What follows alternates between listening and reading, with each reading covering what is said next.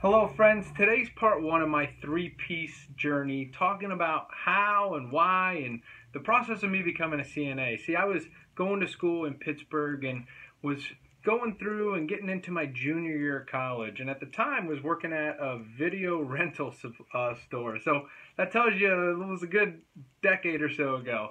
With that said, though, I knew I wanted to start getting in the healthcare field because I was going into nursing or was already in nursing but I knew I could get some groundwork and really start my career, get a good idea of how the flow of the healthcare system works when you're in the hospital.